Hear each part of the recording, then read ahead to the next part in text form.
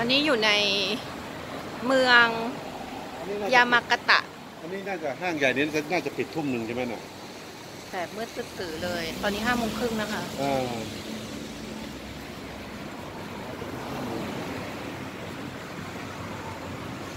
สวัสดีเมืองค่ะใหญ่มาก เมืองใหญ่เหรอคะ อืมเมืองใหญ่มากนึกไม่ถึงว่า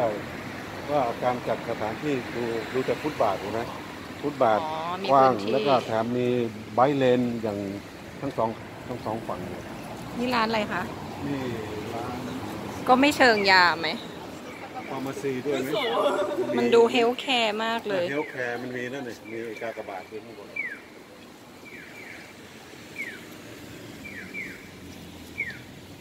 นั่นน่ะคุณยาคุณนายตุ้มเล็งร้านนั้นแล้ว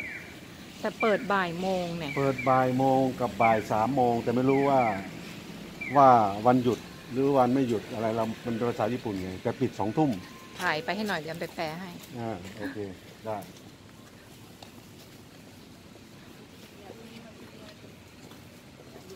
ช้อปปิ้งนะคะ ถ่ายไปค่ะ ถ่ายไปค่ะ เดี๋ยวเดี๋ยวทำจะไปแปลให้แล้วก็มีร้านหนังสือใหญ่มากร้านขายขายของจุกจิกเหรอมีจุกกระจิกโปรงด้วยกเหรระอ เป๋านี่ไงมี มีที่รังเก็บของไว้สำหรับเด็กอย่าเลยเชียวๆ